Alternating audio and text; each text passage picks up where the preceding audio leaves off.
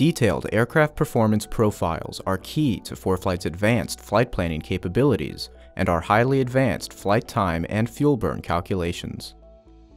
The first thing you should do after purchasing or upgrading to the performance plan is set up your aircraft to use the built-in performance profiles.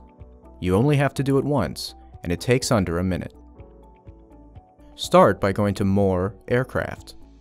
If you set up your aircraft a long time ago, you might see yellow warning signs next to each of them. These indicate that you need to reselect the aircraft's type code.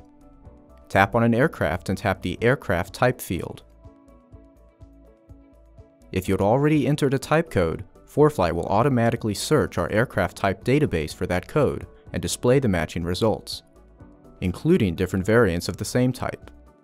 Blue text indicates which variants have built-in performance profiles and how many. Tap on the variant that matches your aircraft to select it. Next, you'll want to select a default performance profile.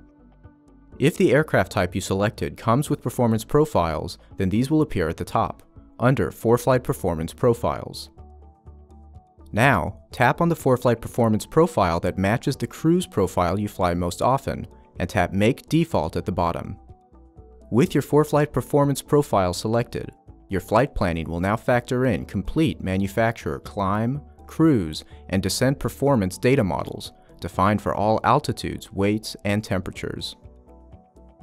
If your aircraft type or variant doesn't have ForeFlight performance profiles, check out our video on using performance on the web to see how you can set up a by altitude profile. Before leaving the performance profile view, we recommend removing the old basic profile that appears at the bottom of the list. Swipe left to delete it.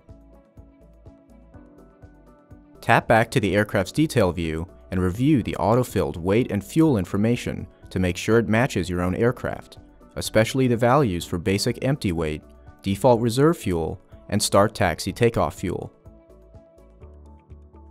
If you already entered filing codes and other details for the aircraft, then you're finished setting up.